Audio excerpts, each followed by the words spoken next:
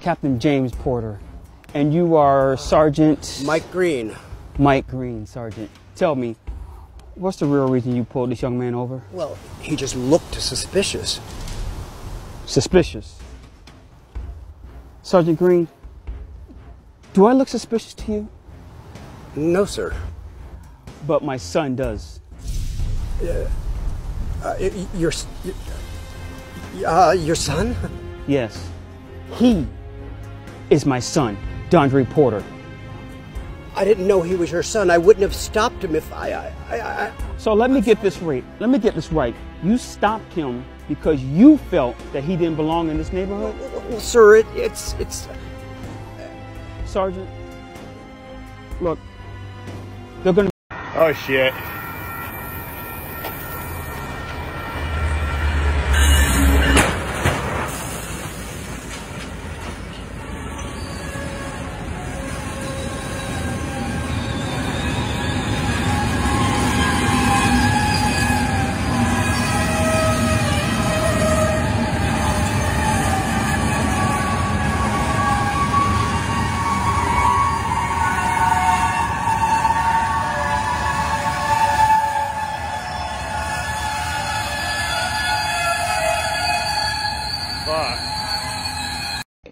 Airline travelers aggressively refusing to wear masks, harassing public figures, and even assaulting crew members.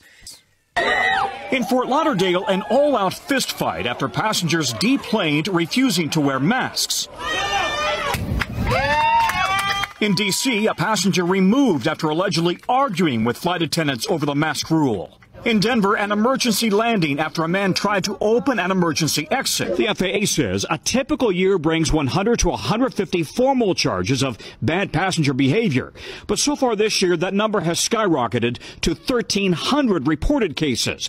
It is not permissible, and we will not tolerate interfering with a flight crew in the performance of their safety duties, period. Now, a zero tolerance approach from the FAA.